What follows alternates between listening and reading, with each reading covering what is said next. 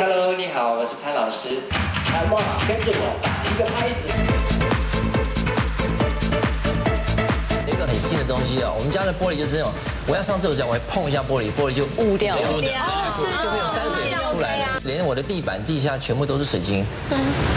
全都是水晶，用水晶打造的 villa 梦幻住家，健身教练潘若迪为妻女砸百万装潢，但却难以想象，他的母亲每个月竟然得靠红包厂驻唱的几百块勉强为生。我如果说一个人在家里生病，忽然间晕倒了，我如果死在里边一个多礼拜，一定会没有人知道的。再怎么难过，上了舞台就得笑脸迎人。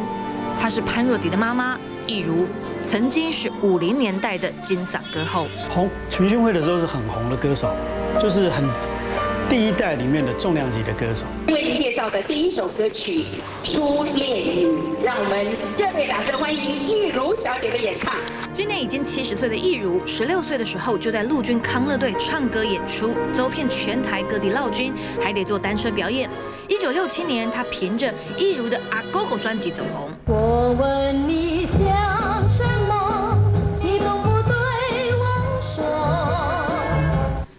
时候，凭着天生的好嗓子，加上甜美外形，一如一路红到对岸的香港舞台剧，甚至替琼瑶电影唱过插曲。但一次在台南歌厅的演出，却发生了震惊演艺圈的事。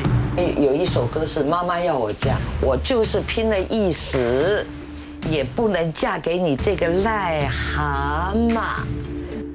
这么一比，那个被比为癞蛤蟆的客人发飙砸酒杯，割伤了易如的左腿，还成为当时社会新闻头条，也因此影响到跟家人相处。他也会影响到他的，呃。一般正常日常的生活嘛，因为就是你的作息啦，你可能对照顾小孩子啦，或者对焦家庭啦。原来易如十八岁就结婚生下了潘若迪，就是易如从小是祖父养大的，她连包尿布都不会，还有次被潘若迪喷的满脸都是。那个时候年轻也不懂，只只知道，只只知道说把他保护的好好的，然后那个那个年代也没有说尿布可以买的啦。都是用那个，呃呃，破的衣服把它剪成，剪成四方块，啊啊，然后就用那个卷一卷，把它当尿布。当时的小妈妈易如白天忙着照顾小孩，晚上还要去歌厅表演。而潘若迪的爸爸是个军人，跟着部队调派，也经常不在家。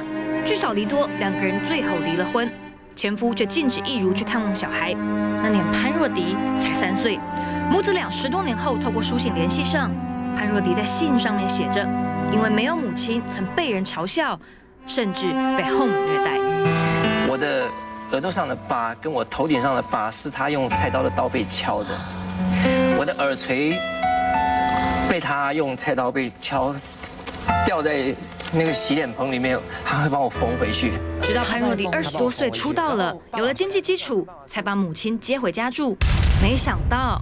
却成为两人决裂的导火线。晚一点起来没有煮中饭，嗯嗯，他可能一起床一看到桌上没有中饭，他就很不开心，不讲话就自己就冲到楼下去。嗯嗯，我我也不知道他冲到楼下去干嘛，结果回来马上回来一下拿一个便当。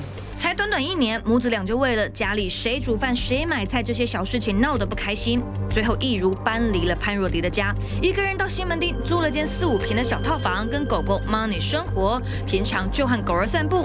家里没有办法开火，那就吃自助餐。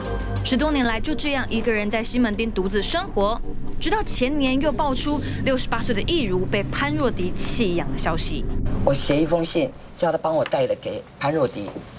但是我得到的消息是，你潘若迪，听说是我给你的信，你咚就把它丢在垃圾桶里，连信都不看，我听了很伤心，我也很难过。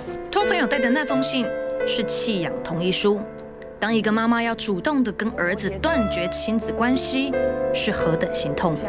但易如说没办法，她为了要申请低收入补助，只能这么做，而潘若迪却始终。没有回应，儿子，我当然是很想他了。我也，其实我我，其实我是蛮喜欢他。他其实他也很爱我，我知道。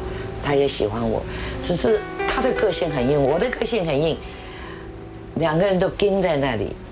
这是这个是比较，就这次演唱会我穿的衣服。拿出一件件收藏多年的表演礼服，都是一如的宝贝，还有这一卷卷的 CD 跟录影带，舍不得丢，就通通放在箱子里。今年已经七十岁的易如说，因为喉咙不好，暂时没有在唱歌了。虽然还是没有跟潘若迪误会解开，不过一切只要潘若迪快乐就好。